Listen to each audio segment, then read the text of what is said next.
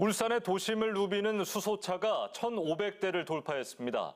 코로나19 탓에 올 들어 판매량은 주춤했습니다만 보급 대수는 여전히 서울보다 500대나 많은 전국 1위입니다. 이 수소 충전소도 연말까지 버스 전용을 포함해 10개로 늘어납니다. 조인호 기자입니다.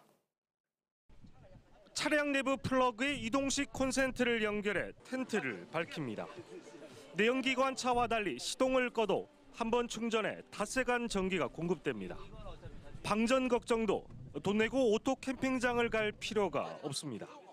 수소 전기차는 이동용 발전소입니다. 자동차에서 전기를 끌고 와서 어, 전등, 선풍기 등 어, 외부에서 하는 전기를 충분히 예, 가능한 만큼 이 자, 자동차에서 공급해서 현재 울산의 수소차 보급 대수는 전국에서 가장 많은 1,507대.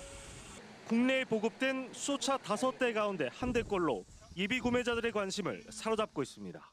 일반 차에 비해서 굉장히 조용하고 저 같은 경우는 주차가 좀 어려웠는데 주차를 원격으로 자동으로 해주니까 너무 좋았어요. 단지 단점이라면은 저희가 이제 장거리 가는데 특정 지역 뭐 강원도나 이런 쪽 갈 때는 사실적으로 충전소 문제가 있어서 그 불편한 거 이외에는 따로 불편한 점은 없습니다. 하지만 울산에선 통하지 않는 걱정입니다.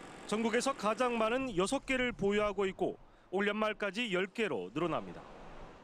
다음 달 완공되는 이 수소 충전소는 버스 전용입니다. 울산시는 현재 6대에 불과한 수소 시내 버스를 오는 2030년까지 400대로 늘린다는 목표입니다. 지난해 울산에선 하루 평균 1.7대꼴로 수소차가 팔렸지만 코로나가 몰아친 올해는 1.1대에 그치고 있습니다. 하지만 울산시는 올해 수소차 보급 목표를 달성해 누적 3,000대 돌파를 기대하고 있습니다. UBC 뉴스 조인호입니다.